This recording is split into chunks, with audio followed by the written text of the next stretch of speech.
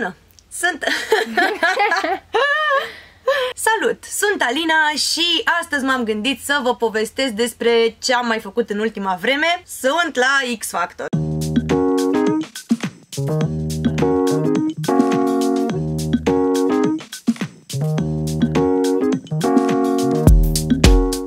Sunt în echipa Deliei și o să vă povestesc despre cum am hotărât să vin la X Factor, uh, ce m-a determinat să ajung la X Factor și toate, toate celelalte uh, emoții pe care le-am trăit uh, la audiții. Să începem cu începutul. Am uh, auzit că se vor face audițiile pentru X Factor și pentru că știam deja că nu se va ține Vocea României anul acesta și din păcate nu voi avea din nou ocazia să antrenez echipa lui Smiley. Mi-a luat vreo lună și ceva să mă hotărăsc să particip la X Factor pentru că este un pas destul de important. Te expui, la asta mă refer și uh, mă exp- m-am gândit că mă voi expune mai mult decât am făcut-o până acum. Eu am o problemă cu treaba asta pentru că de mică mă tot gândesc da ce o să zică lumea, da dacă nu știu ce, da dacă nu știu cum. Și până la urmă mi-am luat inima în dinți și am zis că e important uh, ceea ce cred eu și ceea ce simt eu. Faptul că mi-am dorit foarte tare să spun oamenilor uh, povestea mea de mult timp și poate că m-am ascuns de anumite bariere, să spun așa. Uh, acum cred că a venit momentul și uh, am, uh, am reușit să, să mă deschid. Toată lumea mă întreabă cum și de ce, dar sincer am uh, făcut pasul ăsta pentru mine, pentru sufletul meu și mă bucur că am făcut treaba asta. Pentru cei care nu știu, uh, am uh, antrenat echipa lui Smiley undeva la vreo 8 ani de zile la Vocea României și între timp mi-am dat seama că îmi doresc și eu să ies un pic în lumina reflectoarelor, pe lângă faptul că a fost și este o perioadă destul de zbuciumată pentru toată lumea și mi-e foarte, foarte dor să, să cânt. Pentru un artist este destul de, de frustrant să, să nu-și poată face meseria. Chestia asta mi-a, mi-a deschis o oportunitate să fiu eu, să fiu eu Alina artistul, mai mult artistul decât vocal coachul. Toată lumea mă întreabă ce a spus Smiley despre participarea mea la X Factor. Guys, Smiley este un om extraordinar. A fost chiar primul om pe care l-am sunat și pe care l-am întrebat despre părerea lui Uh, în ceea ce privește participarea mea la X Factor pentru că avem deja o istorie profesională foarte frumoasă și uh, am considerat normal să, să îi știu părerea și să o iau cu siguranță în considerare. M-a încurajat să merg, mi-a spus că dacă asta simt să fac și asta îmi doresc să fac, el este alături de mine și uh, mă va sprijini cu, cu tot ce va putea. Am văzut-o și pe Alina Dincă. Tu știi că Alina Dincă e antrenor la mine la voce, antrenorul știu, de voce? Știu, știu. Ți-a plăcut, nu? Mi-a plăcut tare. Tare, tare, tare, tare. Și e un om foarte cald. Mm. Și este foarte zvâcoasă și foarte ambițioasă. E, place. e. Îmi place că e, își face... Bă, fata asta nu lasă lucrurile la voia întâmplării. Ea își face temele, ea se interesează, e... Nu, e, și transmite foarte frumos când cântă. Mm. Creează o... O să vedeți, nu zic că se întâmplă. Eram obișnuită foarte mult cu, cu lumina reflectoarelor, dar le știam din spate și uh, cunoșteam foarte bine uh, tot uh, mecanismul care, care se întâmplă la un show uh, de genul ăsta. Dar uh, îl cunoșteam, uh, după cum am spus, din spatele reflectoarelor și uh, m-am simțit un pic uh, ciudat pentru că acum uh, eram eu concurentul, eram eu cel care trebuia să vorbească uh, la un interviu, eram eu uh, cea care trebuia să intre pe scenă și să cânte și aveam super, super mari emoții. Am stat uh, acolo destul de mult timp până când am, uh, am intrat în, uh, în scenă. Și uh, toată lumea, adică am simțit vibe-ul ăsta de, de emoție de la toți concurenții, lucru pe care până acum nu l-am simțit în felul acesta. Și a fost a fost cumva ciudat, dar a fost tare, a fost mișto. Mie mi-a, adică mi-a plăcut foarte mult chestia asta. Țin minte că trebuia să ajungem foarte, foarte repede într-un uh, loc în care așteptau toți concurenții și uh, m-am uh, revăzut acolo cu uh, câțiva dintre oamenii pe care îi cunoșteam deja de ceva timp. Am și cântat un pic acolo, ne-am uh, mai destins că, na, fiecare cu emoția la el. Am zis să ne mai uh, ne relaxăm un pic. Și uh, într-un final a venit cineva să îmi spună că urmează să intru pe scenă, în moment în care efectiv au început să-mi tremure picioarele și m-a luat așa un val de emoții pe care nu pot să le explic în cuvinte. Au fost niște emoții pe care le-am trăit acum uh, 10 ani când am fost la România Au Talent și de atunci n-am mai trăit același uh, tip de emoții. Am ajuns la Răzvan și Dani, care uh, m-au întâmpinat și pe mine și pe Alex, pe iubitul meu. Uh, mi-au urat succes și am intrat pe scenă eram cumva conștientă că Loredana uh, mă va recunoaște pentru că ne cunoaștem de ceva timp și în momentul în care am pășit pe scenă uh, Loredana a avut așa o reacție gen uh, wow, ce faci?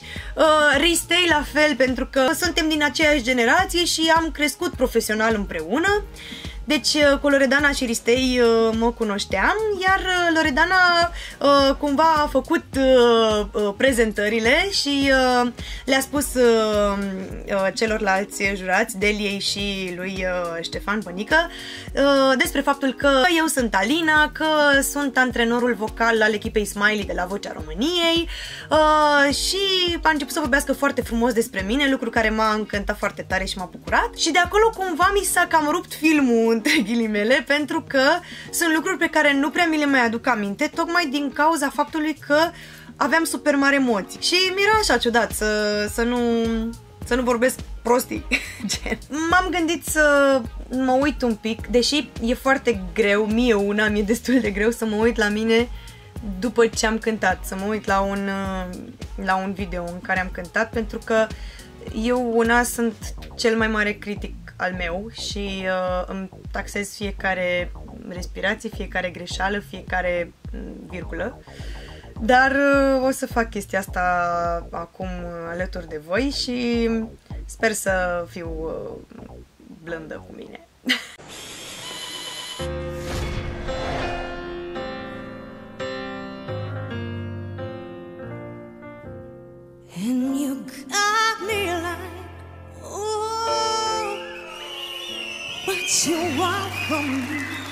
Mamă, de aici mi-am dat seama, mi-am dat seama ce zic. Eu de fiecare dată când cânt trec foarte mult prin filtrul gândirii ce cânt și fix înainte să, să cânt de obicei uit textul. Deci fix, fix înainte să, să, să scot primul vers, atunci zic că l-am uitat și în momentul în care zic primul vers, atunci mi-aduc aminte. E, e foarte ciudat ce mi se întâmplă, da, mă rog.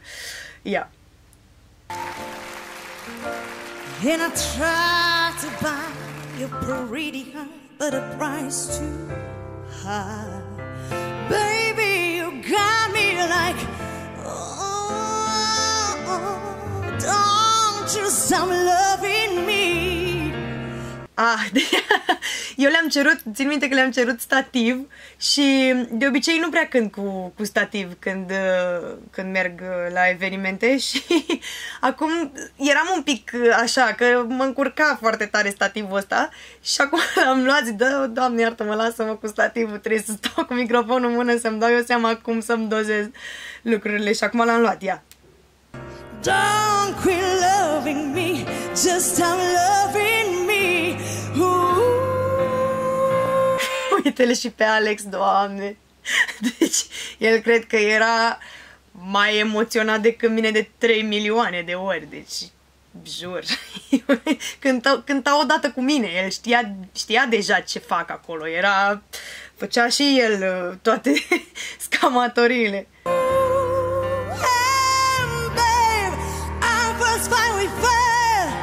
just to get E, domnul Bănică, zâmbim? Îți place? close to you. Oh yeah, just to get Mamă, deci vai de mine, nu, nici nu pot să mă uit acolo așa. În momentul în care cânt și deschid foarte mult gura, mi se, mi se deschid nările foarte tare și arăt un pic, un pic ca porcușor, așa roșu, așa arăt. Mi se pare urât, nu-mi place a taste. Oribil. Must be love on the parade. E, aici, la, la uh, cum îi spune, la primul refren, inițial, am vrut să-l cânt tare, să zic, mama, aici, gata, aici impresionez, gata, dă... Bă, și n-am simțit. Deci, pe moment, eu îmi fac niște chestii în cap acasă, la studio, repet piesa, nu știu ce, mă, una este la studio, alta este acolo. Știi că socotelea de acasă nu se potrivește niciodată cu ea din târg și voilà ce am cântat. Got me feeling this way. It beats me black and blue, but it A, Răzvan, eu m-am, deci m-am chinuit foarte tare să-mi dau seama ce a spus Răzvan aici și uh, mi-a tradus Alex, că era acolo lângă ei și a zis, mamă, ce tare, ce o joacă. and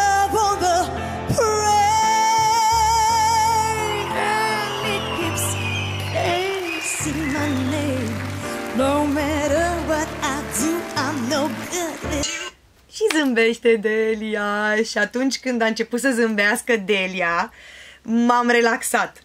M-am relaxat uh, pentru că până atunci uh, am văzut-o foarte atentă, era foarte atentă la mine și mm, de la jumatea piesei încolo uh, a început să, să zâmbească și parcă simțeam că vrea mai mult, știi, să, să, să, să cânt mai și m, atunci, atunci m-am relaxat când am văzut-o că începe să zâmbească și să-și dorească mai mult de la mine. Mi-a plăcut tare mult treaba asta și m-am relaxat de rău de tot. Adică de acolo chiar nu m-a mai interesat ce se întâmplă, cum se întâmplă. Am cântat așa tot ce mi-a venit uh, pe moment acolo, așa am dat-o, fără să mă mai gândesc ce am studiat, cum am studiat.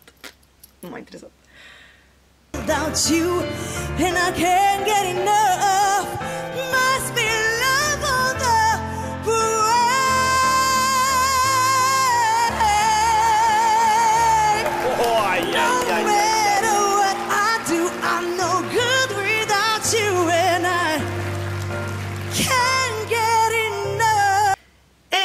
La sfârșit mă bubnise plânsul. Nu știu dacă, dacă se vede, cel puțin eu nu văd aici, dar știu ce am simțit. Și de fiecare dată când când și e ceva atât de important, la finalul piesei, când mai sunt 10 secunde, mă buvnește plânsul, dar mă buvnește plânsul pe dinăuntru, nu știu cum să vă, să vă explic treaba asta. E o chestie pe care o trăiesc efectiv aici undeva și care iz- izbucnește în momentul în care se termină de tot piesa. Și uh, aici am, am simțit chestia asta și se și aude la final un pic că m-am abținut, a fost super real, adică nu e nimic fake, nu n-a fost nimic uh, gândit dinainte, după cum v-am și spus mai devreme. Pur și simplu asta am simțit să fac și asta s-a întâmplat. Aveam nodul aici în gât și când s-a terminat melodia, l-am eliberat.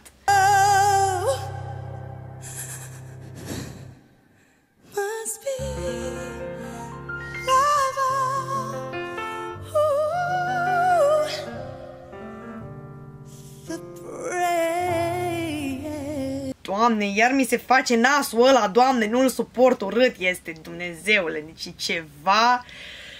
Wow, trebuie să am grijă la treaba asta, dar nu știu cum Dumnezeu să am grijă la chestia asta cu nasul. Uite, cred că și acum dacă aș cânta ceva, tot așa mi s-ar face nasul.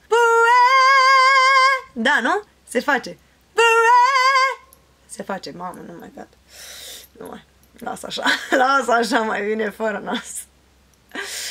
Hai să vedem ce au spus jurații mai, um, mai departe, pentru că um, a fost o jurizare care a durat mult. La grupuri te mai întreb o dată. eu aș putea face o mică inginerie, fiar Mi-aduc aminte că aici, într-adevăr, s-au bătut un pic pe mine și m-am simțit cumva, vă dați seama, bine, că, na, aș fi ipocrită să zic că nu m-am simțit bine. Uh, și ori cum și dacă aș fi fost la Delia și dacă aș fi rămas la Ristei ar fi fost extraordinar pentru mine, doar că na, nu pot să spun că nu îmi convine mai tare că sunt la Delia pentru că mă bucur că o să cânt singură și sunt mult mai obișnuită să cânt singură, sunt uh, mult mai sigură pe mine pentru că știu ce fac eu și nu trebuie să am grijă între ghilimele și de altcineva. Și na, a fost foarte bine, mă bucur tare. Dar domnul Bănică a spus așa. inginerie, fiar atentă. Trebuie să ne gândim așa. Trebuie să ne gă- trebuie să trebuie ne să gândim negociem, așa. pentru că că dacă eu- îi dai un nu, Nu ne mai Da. putem înțelege cu acești bărbați. Nu. Dacă îi dau un nu, îi N-ai dau, ce să faci. îi dau șansa și domnului Ristei. Nu se este posibil. Nu se... Deci, cumva, dacă eu uh, aș fi primit un nu de la Ștefan Bănică, um, ar fi avut o șansă și uh, Florin Ristei să mă ia la el în echipă, pentru că aș fi avut 3 de da și un nu de la Ștefan Bănică. Dar Delia a luptat foarte tare pentru treaba asta și a fost acolo uh, foarte hotărâtă să, să mă țină la ea în echipă și mă bucur foarte tare pentru treaba asta. Cam asta a fost uh, audiția de la X Factor. Credeți-mă pe cuvânt că a fost o experiență extraordinară. Faptul că am ajuns să, să cânt în audiții pentru mine a fost un pas uh, important a fost uh, o dovadă a faptului că nu trebuie să îmi impun niciun fel de barieră, că dacă îmi doresc să fac ceva, să nu uh, aplec urechea la nimeni și la nimic, să merg pe drumul meu și să-mi îndeplinesc uh, orice dorință, și sincer vă încurajez și pe voi să faceți treaba asta, adică nu știu, chit că sunteți uh, uh, backing vocals uh, la cei mai mari artiști uh, din România, din lume, habar n-am, uh, chit că uh, sunteți vocal coach uh, sau cântați într-o trupă de cover sau habar n-am, cântați în duș și vă doriți din tot sufletul să arătați tuturor faptul că vouă vă place să cântați mă, go for it, adică până la urmă ce ți se poate întâmpla? Poți să primești da, poți să primești nu, poți să treci mai departe, poți să uh, ajungi, habar n-am, în finală, nu știu, nu contează, important este să-ți îndeplinești uh, uh, dorințele, să, să te duci pe drumul tău și să nu-ți, uh, să nu-ți pui nicio opreliște niciodată, pentru că la un moment dat o să regreți și o să stai și o să te uiți în urmă și o să realizezi că bă, ce bine ar fi fost dacă mi-aș fi ascultat eu uh, instinctul sau ce bine ar fi fost dacă atunci l-aș fi ascultat pe prietenul meu care m-a sfătuit să mă duc nu știu unde. Bă, faceți ceea ce, ceea ce vă doriți și nu regretați niciodată. Sincer, mai bine regreți ceva ce ai făcut decât să regreți ceva ce n-ai făcut. Și eu sunt o dovadă vie a faptului că lucrul ăsta este adevărat. Vreau să le mulțumesc foarte tare celor care au uh, urmărit prestația mea de la X Factor. Vreau să le mulțumesc din suflet pentru că mi-au trimis mesaje, că mă încurajează, că sunt alături de mine. Mă bucur tare și să știți că citesc fiecare mesaj în parte mă bucur, mă bucur, mă bucur de, de fiecare în parte și nu vă ascund faptul că suntem în uh, a doua etapă de uh, emoții acum pentru că ne pregătim pentru bootcamp. Uh, suntem în repetiții, uh, alegeri de piese, toată lumea e într-o uh, continuă forfotă, ca să zic așa. Și uh, sper din suflet să, să vă placă ce am pregătit. Uh, emoțiile sunt cu atât mai mari pentru că din uh, 10 uh, oameni care rămân în fiecare echipă, vor rămâne doar 3 și uh, concurența e destul de mare și am super mari emoții pentru treaba asta, dar uh, na, sper să fiu și eu printre cei trei, cum cu toții speră la treaba asta. Așa că fiți în continuare alături de noi. uh, pe Antena 1, pe canalele de YouTube, uh, X Factor și implicit al meu. Și uh, ne vedem în bootcamp. V-am pupat, să fiți sănătoși, să vă protejați, să păstrați distanța și să rămâneți cu ochii pe televizoare. Ciao, pa!